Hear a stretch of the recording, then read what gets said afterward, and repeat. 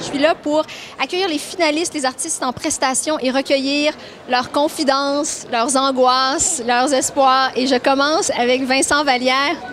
Je sais que tu es conscient que ça te guette de devenir un petit monsieur, c'est ton expression, mais tu es un peu un vétéran là, ce soir. J'ai- J'aime pas du tout comment cette entrevue-là commence, premièrement.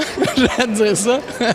tu m'as appelé le vétéran. Euh, Le vétéran, ben, il y a quand même Fiori et Michel j'apprécie- Rivard. J'apprécie ma place. Je suis content de, de la place que, que j'ai. Ça, c'est plus des vétérans, c'est des vieux. Des vieux. J'ai j'ai comme le goût de dire ça à Michel. Tu diras à Michel. Ah, je vais y parler tout à l'heure. Je vais- Tu veux lui péter la gueule? Oui, ça ferait de l'action pendant la, la soirée après, euh, après gala, s'il y avait une bataille, tu sais, mais il n'y a jamais ça.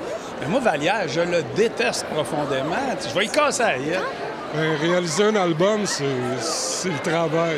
C'est le vrai travail. Puis j'ai rencontré euh, la pièce maîtresse, Marc Pérusse. J'adore cet album-là.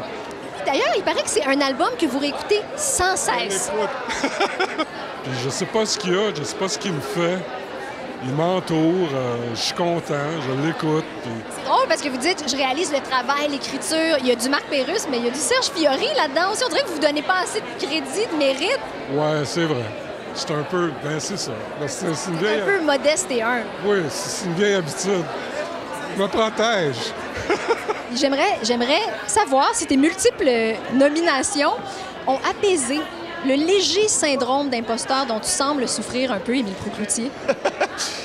Honnêtement, oui. En toute honnêteté, c'est vrai que, ben, je veux dire, il y a eu quand même plusieurs étapes à estomper ce, ce sentiment d'imposture, venir du monde de- de- des acteurs, tout ça. J'avais, j'avais pas envie de me faire dire bon, un autre, tu sais, un autre qui chante.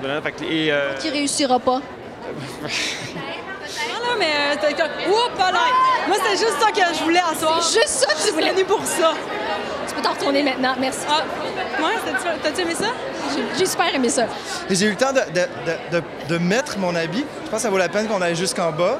C'est le la, la- des vêtements de la dernière collection prêt-à-porter que Jean-Paul Gaultier va avoir fait de son histoire.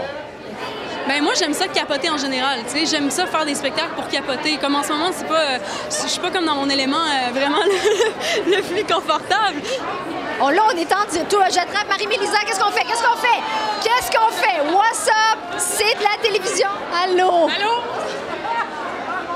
Ah, au diable, au diable le décorum. Comment tu vas? Euh, je suis complètement dans mon élément. J'allais dire, qu'est-ce que vous savez de cet hommage qu'on va vous rendre? Savez-vous les artistes qui vont être là? Non.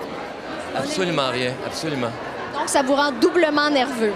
Nerveux? J'ai pas dormi hier soir. Est-ce que c'est vrai ça que vous réveillez? dormir ce soir, zut. C'est vrai que vous vous réveillez pendant la nuit parce que ça vous stresse? Ça me stresse encore, que veux-tu?